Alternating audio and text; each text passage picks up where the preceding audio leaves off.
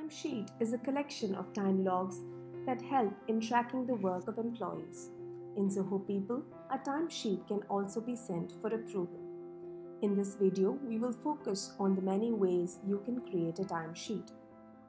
To create a timesheet manually, start by going to the Timesheet tab, to Time Logs and then to the List View.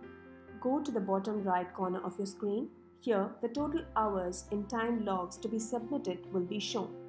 Click the Not Submitted icon.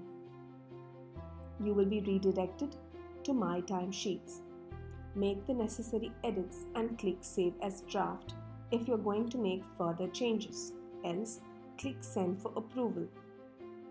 The same steps can be followed from the calendar view as well.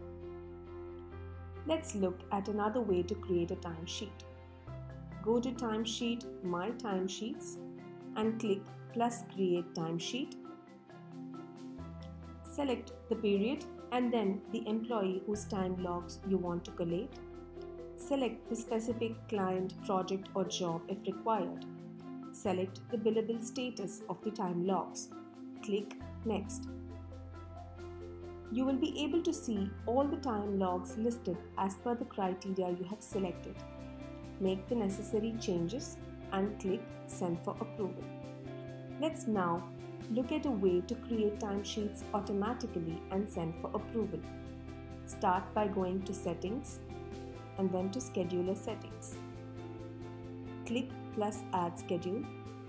Give a name for the schedule and set the frequency at which the scheduler is to run.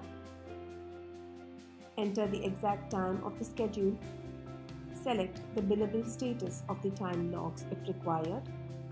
Define your applicable group based on roles, departments, designations, locations, groups, or specific users. Click Submit. Now, the scheduler will automatically collate the time logs for the applicable group based on the criteria and frequency set. Hope you found this video useful. Stay tuned for more. Thank you.